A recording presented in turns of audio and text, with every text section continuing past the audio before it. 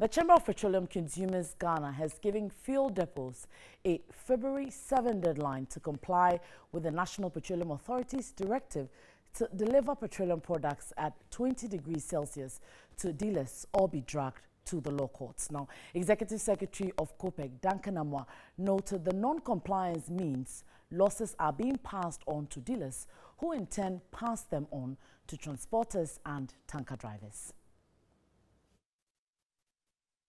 The NPA must ensure that its own instructions are followed or carried out by these depots. Anything other than that will be forced to uh, drag all of them, like we have indicated earlier, to appear before the law courts.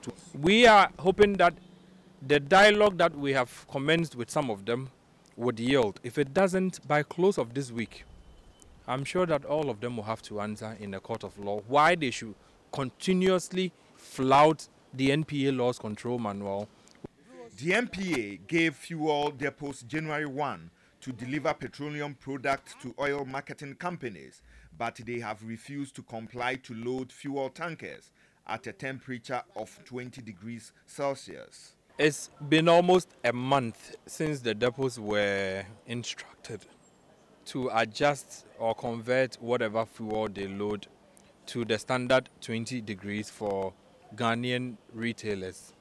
Unfortunately, as I speak to you now, our checks indicate they are not complying. They are not complying simply because they seem to be making a lot of gains and profits every single day.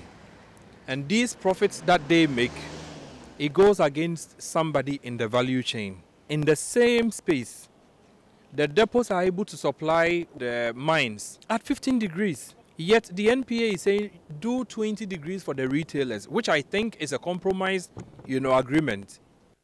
Transporters and tanker drivers bear the brunt of the losses due to temperature variations.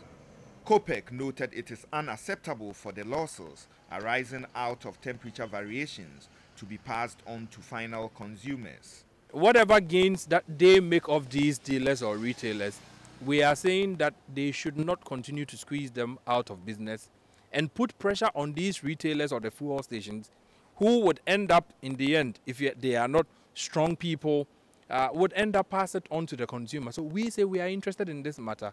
They should ensure the right things are done uh, today, tomorrow. The depots are delivering at above 33 degrees Celsius, passing on the losses to dealers, transporters, and tanker drivers.